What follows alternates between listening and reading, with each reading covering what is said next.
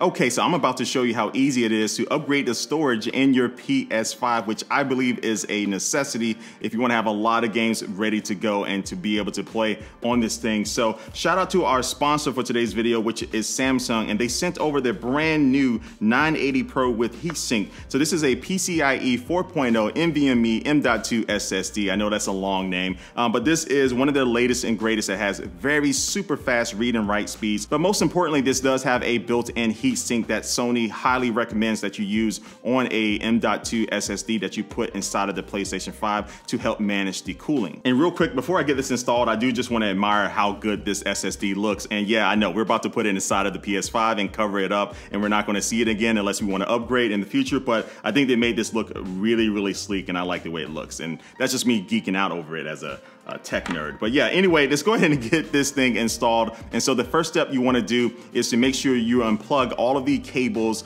um, out of the PlayStation 5. So the HDMI cable, the power cable, get all of those things unplugged. And then you also wanna make sure you ground yourself by um, touching a piece of metal that is grounded. So you wanna do this to make sure you don't like touch anything on the inside and short circuit it with like a static electricity charge or anything. But now after that, you do wanna take the side of the PlayStation 5 that has the PlayStation logo and you wanna make sure this is face down. So I'm just gonna flip this around just like this. And then now we need to take this cover off. So the way you wanna do it is that with your left hand, you wanna kind of pull, and then with the right hand on this corner, you just wanna kind of lift up and it comes off that easy, simple as can be. And so now here's our first look inside of the PlayStation 5 and look how nice and neat it looks. So yeah, we're gonna be working in this area right here. And the first thing we need to take off is this heat shield. So you need to take a number one Phillips screwdriver and then now you just need to take off this screw. So you just wanna twist away and get that off of here. And you do wanna make sure that you pay attention to the screws and stuff that we're taking off to make sure you don't drop them in the fan or anything. So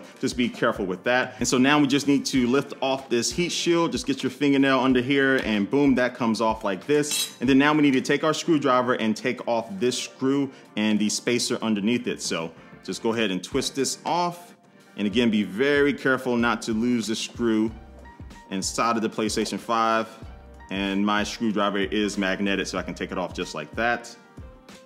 And then now we just need to take off this spacer and you set these two to the side. Now M.2 SSDs do come in at different sizes and you'll see those sizes indicated here on the board. So we have 30, 42, 60, 80, and 110. But the Samsung 980 Pro with heatsink does come in at 80. So we need to take that washer that we just took out and place it right there at the 80 mark, just like that. And then now we can take our M.2 SSD and get this installed. So basically on this side right here, you just wanna place it in at an angle and it'll kind of just kind of automatically slot in there. And then now you can press press it down and make sure it gets into place just like that. And then now you wanna take that screw that you took out before you remove the washer and you place that back in there and you take your number one Phillips screwdriver and you just get this thing screwed in nice and tight. Not too tight, but tight enough. And then now you wanna take the heat shield here and you wanna get this back installed. So you just basically place this right there,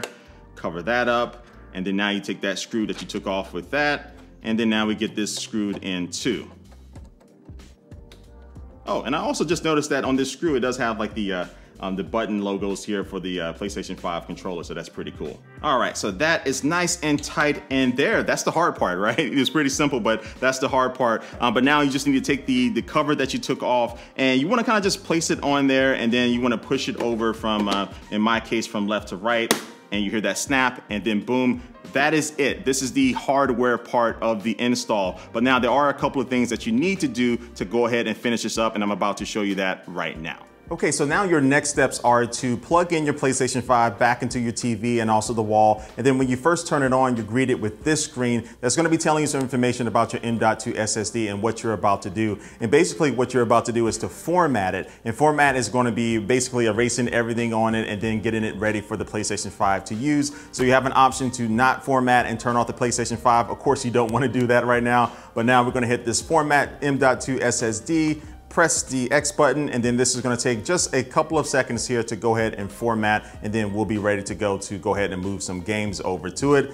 And boom, just like this, you will see that this is telling me that the read speed of my M.2 SSD is, is around like what, 5,700 uh, megabytes per second. And the PlayStation 5 is liking this speed, so I'm going to hit OK, and now let's let me know that it's been formatted, and then now hit the OK button, and this is going to take me to the home screen. All right, so boom, now we're ready to go ahead and move some games over to our M.2 storage. So you just need to go into settings, and then you go down to storage, and then now you wanna go down and see that you do have this new M.2 SSD storage option right here. But if you are trying to move a game over from the PlayStation 5 to that storage for the first time, you need to go to console storage and then go to games. And this is gonna pull up all the games that I have. And I'm going to move over Spider-Man, Miles Morales, and I'm gonna go ahead and select items to move. And on this screen, it's gonna be showing you how much space you're getting back on your internal storage in your PS5. And you can see there, I was on the brink of not having any storage there. So I was hurting a little bit. Um, but then it's also gonna show you how much space you'll have left on your M.2 SSD after the move. But yeah, anyway, just go ahead and hit that move button there. And then now it's gonna be having you confirm it and I'm going to hit okay.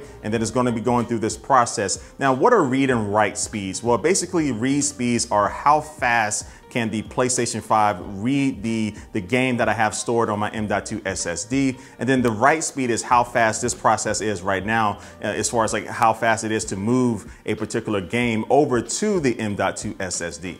Boom.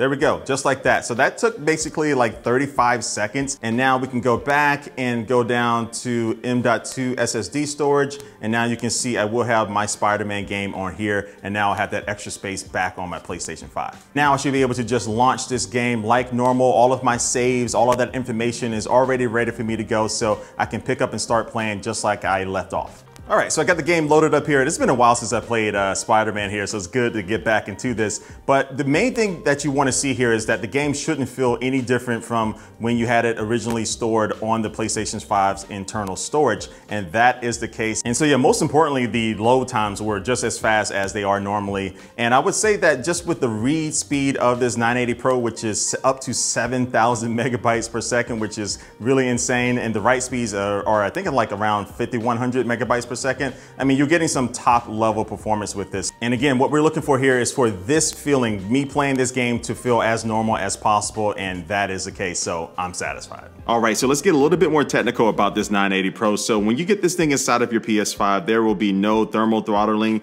no system warning or shutdown, and you get silent play while on the PS5 system, even inside of a rack. Now, in order to minimize the effect on reliability, Samsung set the thermal throttling of the 980 Pro heatsink at 82 degrees Celsius, but the competitors set it higher than this, and you should know that the PS5 stops working at 85 degrees Celsius, so you can see where that can become a concern concern. And do note that the maximum temperature of the 980 Pro was 64 degrees Celsius, while competitors were at 86 degrees Celsius. All right, so look, as I said in the beginning of this video, I think upgrading your storage for your PlayStation 5 is a necessity, especially, look, we're gonna be keeping this thing for many, many years, and I hate having to like uninstall a game because I wanna install another game. And as games are getting better and better, they're also getting bigger in file sizes. So something like this uh, 980 Pro uh, with heatsink from Samsung here is definitely going to be a nice welcome addition to every PS5 out there. And I think this is also a really good gift idea. So if you do know a gamer out there that does have like a PlayStation 5 or something,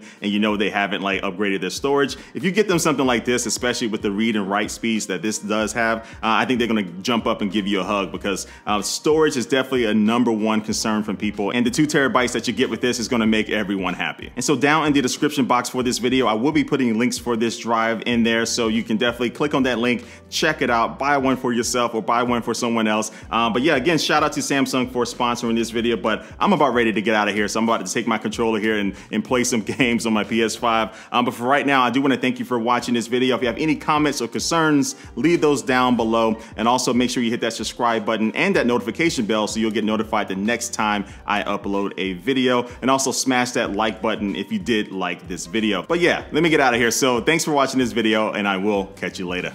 Peace.